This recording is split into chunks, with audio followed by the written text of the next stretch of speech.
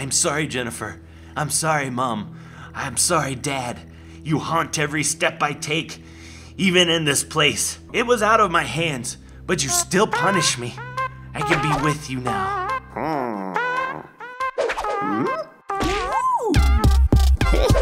yo, yo, yo, everybody. Generikb here, and welcome to a Hermit's Look at Stories Untold.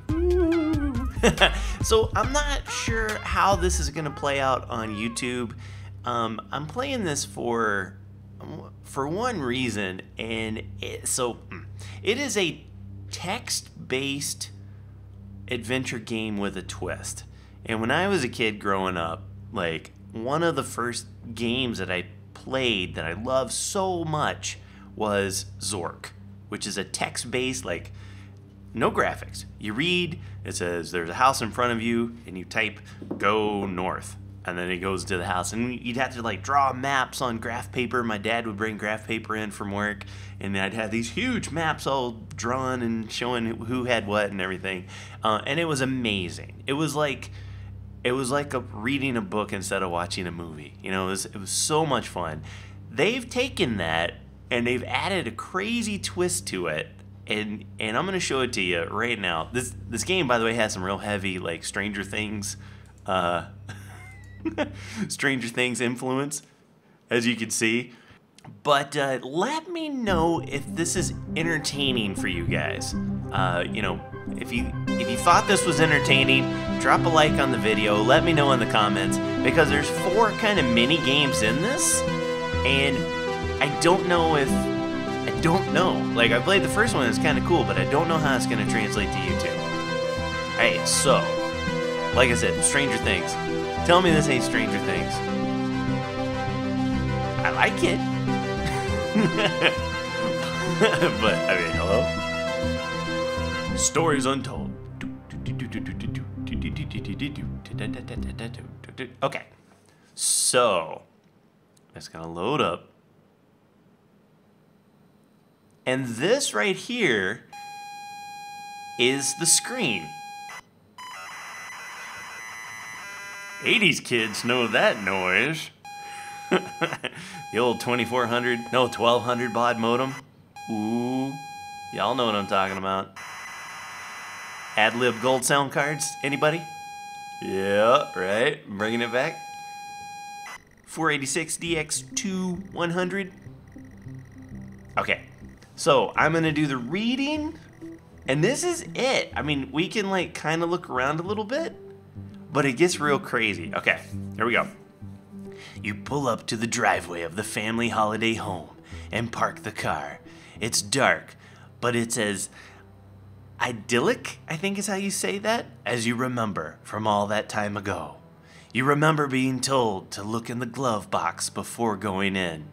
It's good to be back. Okay, so this is literally how you do it. You say, open glove box.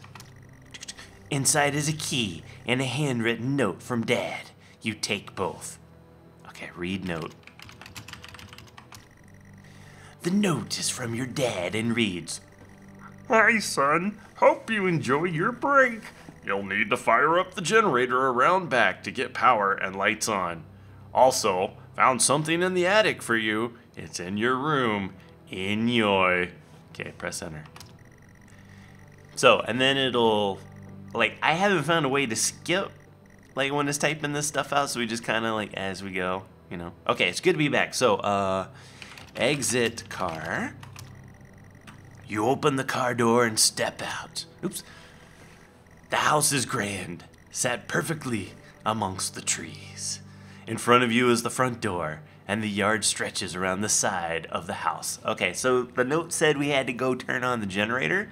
So we will say, uh, go yard, yard, go yard. You take a walk around to the yard. The yard has been well maintained. You spend a lot of time here with your family on holiday trips. Good memories. Now the thing that uh, is a little, little weird with this one, uh, they assume like you have to, you have to read that note that says that the generator is there. There's no other way to know that there's a generator in this room. kind of a design flaw for me, but hey, that's fine. Uh, so you say turn on generator. Oh, uh, start generator. There we go. Oh, what? Look, generator. The fuel gauge is healthy and it is manually operated. Okay, turn on. Turn, start generator. What? Did I not do that? Okay. okay, that's fine. That's fine. You switch the generator on and it whirs to life. The house is still dark. Okay, so now we can say go back. You walk around to the front of the house. Okay, in front of you is the front door. So we will say, uh, go door. Okay, uh, open door. The door appears to be locked. You will need to use a key. We have a key. Unlock door. You insert the key in turn. The door lock clicks open. Okay. Open door. You step inside the front door. You enter the house to the hallway. It's dark and you can't see anything. You feel a light switch next to the door, however. Turn on light. You flick the switch and the light come on.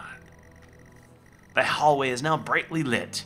There's access to the kitchen and living room here, as well as a set of stairs going up. Okay, so let's uh, go kitchen. You walk into the kitchen. The kitchen is tidy and well kept. There's a door to a utility room, but otherwise it's just a kitchen. Okay, go utility room. The utility room door is locked. You have no idea where the key could be. Okay. Alright, go back. So we may need a key to the kitchen. I mean, to the utility room. Maybe. Alright, and let's see. Uh, go living room. You step inside the living room. A spacious and comfortable living room. We spent a lot of good time here in here playing board games with the family. Warm and inviting. Okay, so not much there. Go back. And then we go back to the hallway. See, and this is where I want to like speed it up, but it doesn't. uh, go stairs. You walk upstairs to the landing. The stairwell landing, there's a bathroom, two bedrooms, yours and your sister. Pictures adorning the walls, images of happy times. Go bathroom. Oh, bathroom. Go to the bathroom. Mhm, You're in the bathroom. There's nothing much to note, but it's all in good order. Okay. See now this, here's what I would say. As as a, a fan of these games, I would pay serious money to play a version of Zork like this. And there's like Zork 1, 2, and 3, and then there's a Zork 0, which I think had graphics, and then a, another Zork that had graphics. But for the ones that didn't, dude, it would be so cool is if you had something like this and you type it in, and then as you're going from room to room, there's a an automatically it automatically updates a map, and it's one of those cool. We all drew it on grid paper, graph paper, like. Oh, it would be so cool. I would pay serious money to play those like that. Oh, okay. Anyway, um, okay, yours and your sister. So, go bedroom. Which bedroom, yours or my sister? Go my room. You walk into your old room, your old bedroom. So many good memories in here, and it's been preserved so well. On the desk is a gift wrap box. Open bags. You unwrap the gift excitedly. You can't believe it. Dad has found your old computer, a Futuro 128K plus 2. It's been preserved well in the attic and hopefully still works. Oh, which happens to be, if you notice, right? The Futuro 120K. Uh huh. Okay, it's all it still needs to be set up. Set up Futuro. Uh, uh set up compute computer. You start to plug in the various cables and leads. The computer is all set up and ready to go. There's a game here, too. Okay, play game. You put the cassette in the computer and press play. So you see this right here? Oh, good lord. Forgot about that. That, uh, that's an audio cassette. And we actually played games that were stored on audio cassettes. Kids these days, they don't know. So now things get a little twisted. The house abandoned. Pull up to the driveway of the family holiday home and park the car. It's dark, but it's clearly neglected. Ooh, it's all changed now. You remember being told to check the glove box before going in. You can't stand to be near this place. Oh, open, glove box. See, now it's all different. Inside is a key and a handwritten note from Dad. You take both. Read, read, note. You don't recognize the handwriting. It says, "Get out, get out, get out, get out, get out, get out the car, get out the car, get out the car, get out, get out, get out." You. What? What? Okay. So let's see. Uh, get out. You force the warped car door open and fall out. What? Okay, so I'm ass- I'm assuming. Oh, the house looks abandoned. There's a yard to the side, wood creaks in the wind, and all happy memories are gone from this place. There's no love here. I'm assuming we still have to go. You step through the debris and back uh, to the backyard. The grass is overgrown. Then the weeds crawl up the side of the house. This is not a nice place to be.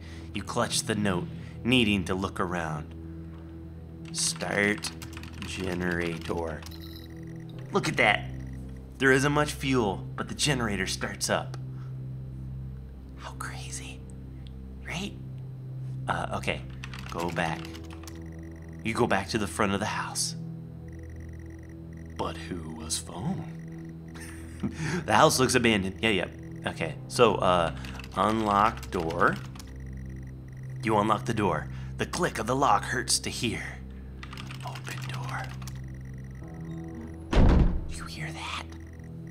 Pitch black, but your senses are punished more by the smell, stale air, and damp. This could not be less inviting. The note burns in your hands. You feel compelled to read it over and over. Read note. It's too dark to read, but it feels weird to the touch. Turn on light. Afraid of what you might see, you flick the light switch. The lights flicker on and off. The walls are falling apart after years of neglect or worse. There are stains. Oh! Upstairs, the sound of an alarm clock blaring. Someone else is in the house. That can't be. Stop clock. Somehow the alarm stops. You feel the panic set in. You're still in the hallway. The noise has stopped, but you feel a presence. Someone is in the house. They should not be here. There's a kitchen and a living room adjacent, and stairs leading up. The note feels disgusting in your hands. Read note.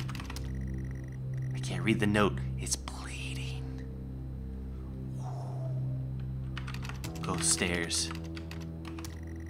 You head up the stairs. They creak. Same but different.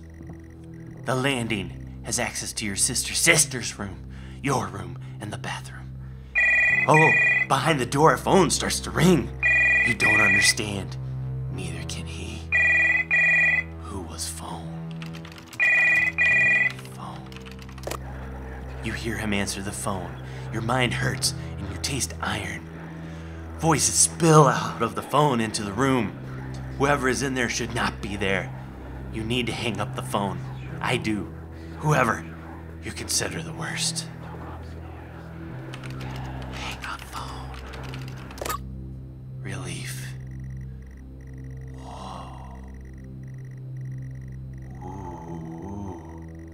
Is going on? Okay, so open my room. Oh, go my room. The door is bolted shut with a four digit combination lock. Go, sister. Room. Jennifer's room is boarded up. You can't bear this. Go, go, bathroom. You enter the bathroom. The bathroom feels disgusting. Every surface is covered in a layer of oily grime. The sink is a haven for all kinds of bugs. Go back. You step back into the landing. Okay, so we have to find a four digit code. Now the clock says 999. Unlock my door. You grab the lock.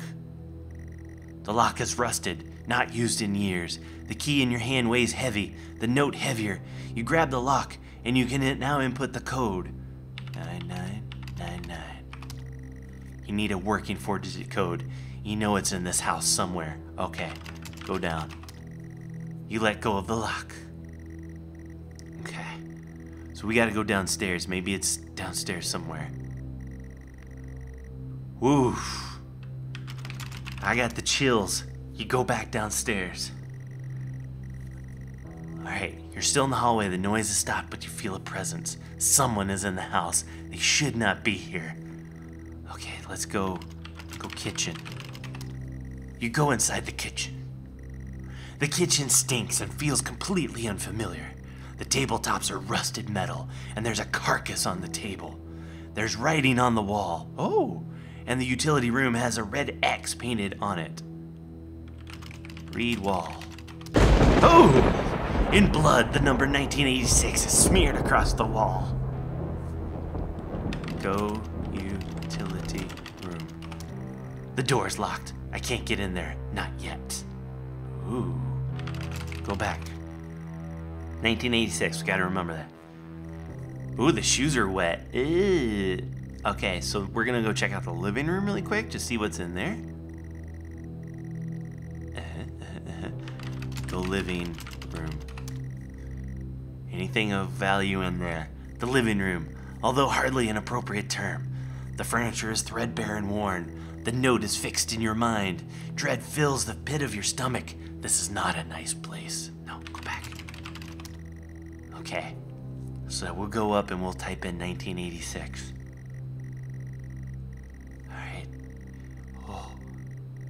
We're gonna. What happens when we find ourselves? Go up. You head up the stairs to where the noise came from. The stairs creak. They stairs creak. they stairs be creaking. Okay. Unlock my door. Grab the lock. The lock is rusted, not used in years. Okay. And we input the code 1986. The lock clicks open. Okay. And we hear it behind us, man. Okay, open my door. Oh, snappers. You open the bedroom door. Go my room. You enter your bedroom. The bedroom feels utterly familiar. The walls are damp, but you've been here before. In front of you, a lone person sits in front of a computer screen. The lamp is on. The clock reads 9999. You shouldn't be here. I shouldn't be here. You grip the note tight. Read note. I'm sorry, Jennifer. I'm sorry, Mom. I'm sorry, Dad. You haunt every step I take, even in this place. I was out of my hands. Oh, it was out of my hands, but you still punish me. I can be with you now. Uh, oh. Oh, oh, oh, enter to continue. Okay. There's nothing left to do. I'm consumed and confused. This has to end now. Talk to man. Uh, uh. Uh. Uh. Say hello. Kill man. you are pathetic. It was all your fault. Say it. It was all my fault. I don't believe you! Like you mean it, please! It was all my fault! It was all my fault! Say it! It was all my fault!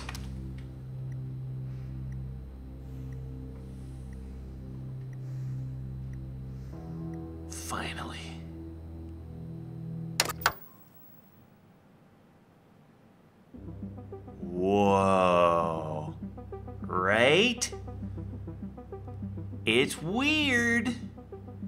And now because we've unlocked this one, let's see, will it let us click through? Past this Stranger Things? Stranger Danger? Can hit escape? No, we're gonna go. So, yeah, oh yeah, here we go, we're coming back. So yeah, there's three other ones. The lab conduct, the station process, and the last session. All three of these apparently maybe uh, connect into one story because it says four stories, one nightmare. So if you guys want to see more of this, I know it's weird. It's just watching me type and and tell a horror story basically. Um, but if you want to see more, drop a like on the video. Let me know in the comments below. All right, that is it for me for today. Hope you enjoyed, and until next time, take care brush your hair. I'll see you when I see you. Brush your hair. oh.